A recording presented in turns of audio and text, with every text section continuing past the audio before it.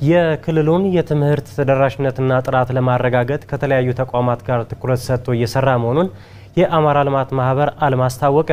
ማህበሩ በክልሉ ያሉ ማህበራዊ ችግሮችን በዘላቂነት ለመፍታትም ስትራቴጂክ እቅድ አቅዶ እየሰራ እንደሚገኝ ገልጿል። አዲሱ ተስፋዬ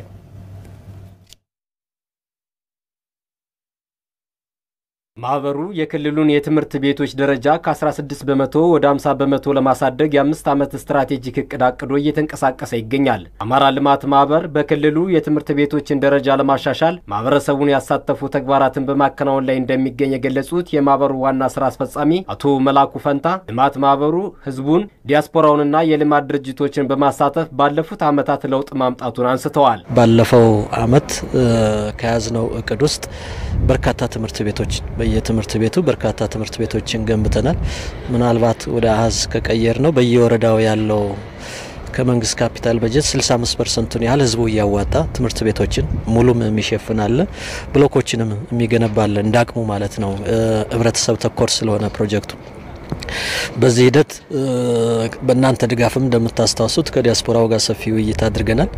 ይህንን መሰረት አድርጎ እንቅስቃሴዎች ተጀምረዋል። አልማ በክልሉ ያሉትን የህዝብ ሀብቶችን በማጥናትና ፕሮጀክቶችን በመቅረጽ ገቢ እንዲያመነጩ ለማድረግ ስራዎችን እያከናወነ መሆኑን አቶ መላኩ አብራርተዋል። ያልተጠቀምንባቸው ሀብቶች ነበሩ። ባህር ዳር ዩኒቨርሲቲ ጋር በመተባበር ፕሮጀክቶችን ሰርተናል፣ ለባንኮች አቅርበናል። ስለዚህ ያሉንን ካየን ያሉን እንዴት ሀብት ይፍጠሩ ብሎ የመስራት ነው እና እነዚህ ፕሮጀክቶች የመነጩት ካሉን ሀብቶች ነው ሌላ ሀብት ፈልገን ሳይሆን ካሉን ሀብቶች ተነስተን ነውና አስተሳሰቡም የሁሉም ከዛ ቢጀምር የሚል የአማራ ልማት ማህበር በክልሉ የትምህርት ቤቶችን ደረጃ እንዲሻሻልና የማህበረሰቡ ተቋማት ተደራሽነት እንዲሰፋ ለማድረግ ከአማራ ብዙሀን መገናኛ ድርጅት ጋር እየሰራ ይገኛል። ማህበሩ ከአማራ ብዙሀን መገናኛ ድርጅት ጋር መስራቱ በገጽታ ግንባታና በልማት ስራዎች ላይ የሚያከናውናቸውን ተግባራት በማቅረብ ወደፊት የተሻሉ ውጤቶችን ለማምጣት በሚያስችሉ ጉዳዮች ላይ ውይይት አድርጓል። የአማራ ልማት ማህበር በክልሉ ያሉትን ማህበራዊ ችግሮችን በዘላቂነት ለመፍታት ከዚህ በፊት የነበረበትን የሀብት አሰባሰብ ውስንነት በማስተካከል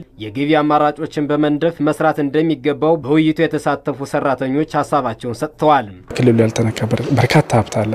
እሱን ማስተባበር ነው እንግዲህ ካልማ የሚጠይቀው ህዝቡም ሰርተ ካሳየው ተባባሪ የማይሆንበት ምንም ምክንያት የለም እና እዛ አካባቢ ላይ ሰፊ ስራዎችን ቢሰራ ጥሩ ነው። በዚህ ደረጃ ላይ የምንገኝ የሚዲያው ሰራተኞች በተቻለ መጠን ድጋፍ ማድረግ አለብን አልማን። ምክንያቱም አልማን ደገፍን ማለት ከታች ያሉ የቀጣዩን አዲሱን generation ደገፍን ማለት ነው። ህጻናትን ደገፍን ማለት ነው። ከአማራ ብዙሀን መገናኛ ድርጅት ጋር የተደረገው ውይይት በቀጣይ አልማ ለሚሰራቸው የልማት ስራዎች አቅም የሚፈጥር መሆኑን የአማራ ልማት ማህበር ዋና ስራ አስፈጻሚ አቶ መላኩ ፈንታ ተናግረዋል። ተቋሙ ትልቅ ተቋም ስለሆነ ልምዱም ለሌሎች መተላለፍ ስላለበት በተቋሙ ስም አንድ የትምህርት ተቋም እንገነባለን የሚል ነው ሀሳብ ሲራመድ ያያችሁትና ይሄ ልምድ ወደ ሌሎች ቢሮዎችም ይሰፋል ብለን ነው የምናስበው። ወደ ሌሎች resource mobilization ም ታግዙናላችሁ ብለን ነው የምናምነውና በዛሬው ውይይት ከመቼውም ጊዜ በላይ ጥሩ ውጤት ያገኘንበት የረካንበት በመሆኑ ላመሰግን እወዳለሁ።